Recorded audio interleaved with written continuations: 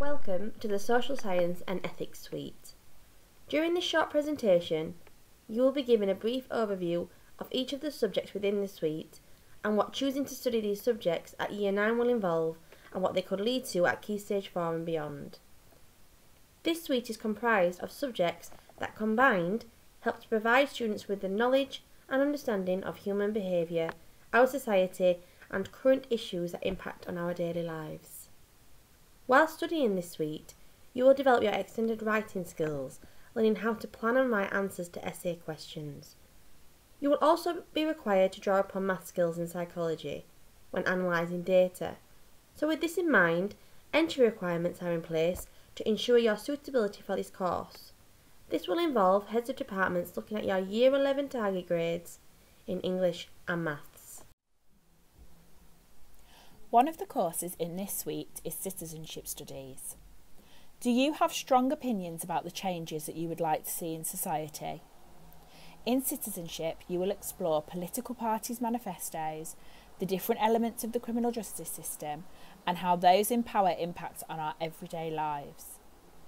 In this subject, you will study controversial and topical issues with political, social, ethical, economic, and environmental dimensions. What topics do you cover in citizenship? Our citizenship course covers an introduction to politics, crime and justice, how the UK population is changing, the UK's relationship with other countries, and how citizens can make a change in society. Citizenship Studies is assessed in two exams at the end of Year 11. You will answer questions about sources and you'll learn how to write essays.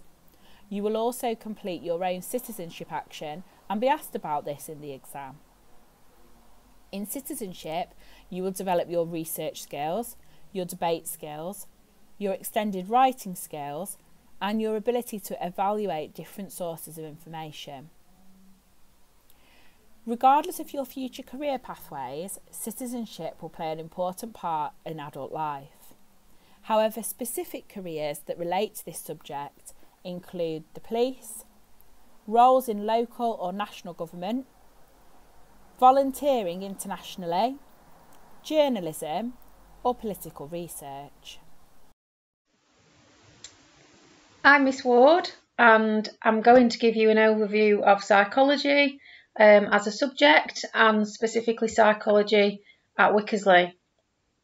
So there are many reasons um, why students choose to study psychology um, from career prospects. So it may be that um, you already know what you want to do um, when you leave school.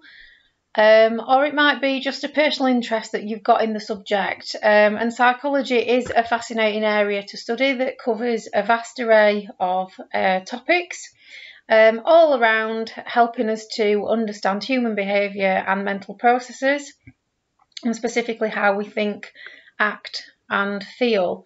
Um, we cover a range of topics on um, the AQA uh, GCSE course, um, including some of the ones you can see here. So, neurobiology and the brain, sex and gender, sleep and dreaming, um, psychological problems, just to name but a few. Um, psychology is assessed in the form of written exams, which will be at the end of year 11. The papers are an hour and 45 minutes long. Um, from this course, um, you'll have the opportunity to develop a range of skills, um, such as the ones listed here.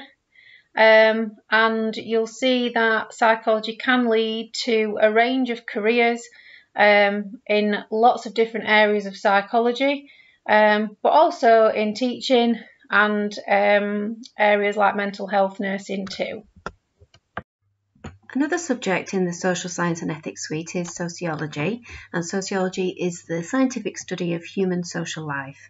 So, what that means is that we'll be looking at a range of sociological issues that are happening in society, um, and here we've got them listed. So, things like the media, education, the changing nature of families and religion, and the impact of crime. So, big issues that are happening in society that we look at from a range of perspectives and maybe look at these from an outsider's point of view. So, challenging your taken for granted assumptions about some of the things that you know about. In year nine, we look at um, current social issues, so as well as the things that are mentioned above, uh, we look at things like immigration. Um, so we look at why do people migrate into a country, why do they leave, uh, what are the factors that will push them.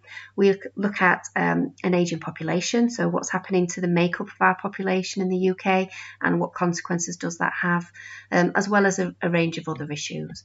And then in year 10 and year 11, we go on to study key sociological concepts um, and theories and methods, as well as topics of families education and crime, deviance, and stratification.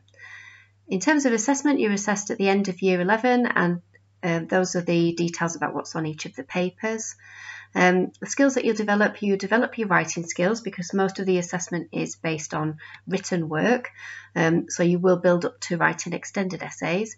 You'll learn to evaluate, so you look at things from two different points of view or more um, and learn to challenge the points that you make um, and hopefully gain a better understanding of your society. In terms of where sociology can lead, it's a subject that doesn't pigeonhole uh, you into any particular area, so it can lead to a range of things, and these are just some of them. Uh, so these are not exclusive, there are lots of other uh, careers uh, that sociology can eventually lead to.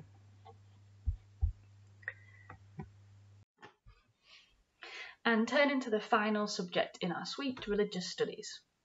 If you are the kind of person who really enjoys grappling with the big questions of life, or you really enjoy asking and probing why, for instance, thinking about um, questions such as Are aliens real? Is there any evidence that there are aliens out there? Can there be a God if bad stuff happens to innocent people all the time? How and why should we punish criminals? Should we put them in prison should we allow them rehabilitation programs? Or questions such as Is the Big Bang the best explanation for why we are all here? If these kind of questions excite you, then religious studies is the subject for you. Don't let the name mislead you. Within this subject, we will be looking at religious ideas, but we'll also cover non religious viewpoints, such as atheist and humanist ideas. Not only will we be looking at religious topics, but we'll also look at philosophical and ethical issues. So, for example, what do we mean when we say something is good or bad? Are we talking about following the law? Are we talking about following our gut instinct? Are we talking about what our conscience tells us to do? And also ideas such as is CCTV okay? Should it be there to protect us? Or does it violate our privacy?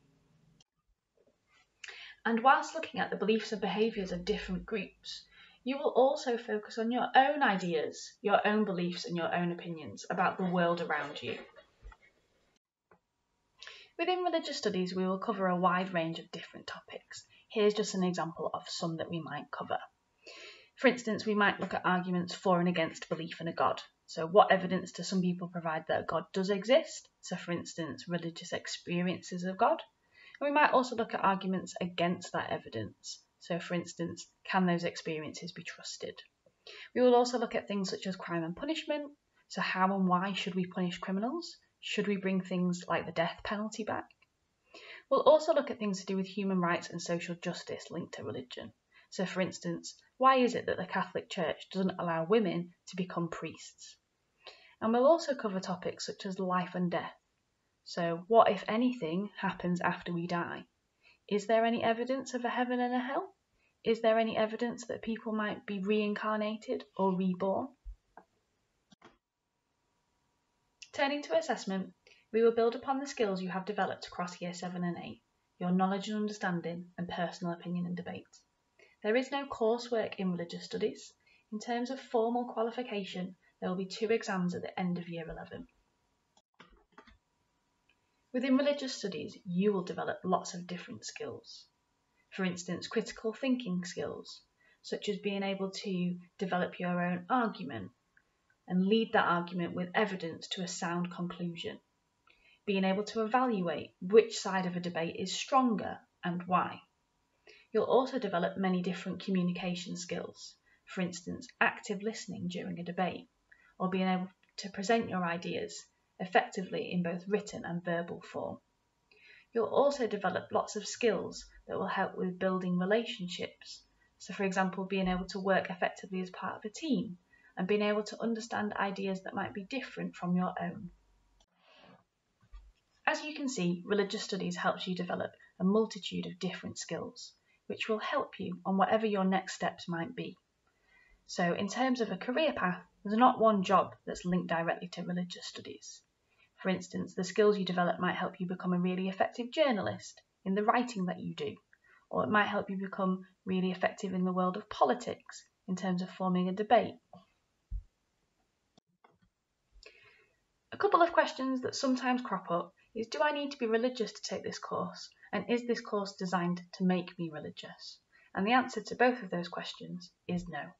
In religious studies, we're interested in learning about different people, different ideas and beliefs, and thinking about how that links to what I personally, as an individual, think about the world around me.